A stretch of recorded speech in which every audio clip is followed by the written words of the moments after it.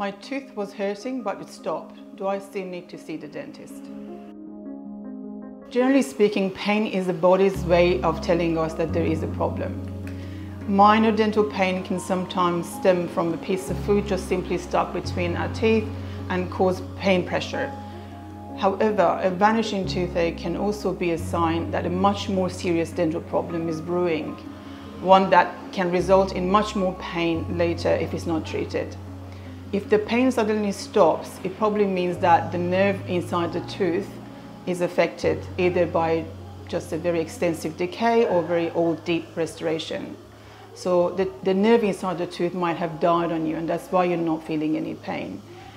Or if you're on antibiotics, the infection may have temporarily subsided, but it will come back worse than before, unfortunately. That's what we see day in, day out. Your tooth will continue to decay and you will continue to lose surrounding jawbone. And that's why it's so important to not to ignore that pain and see a dentist.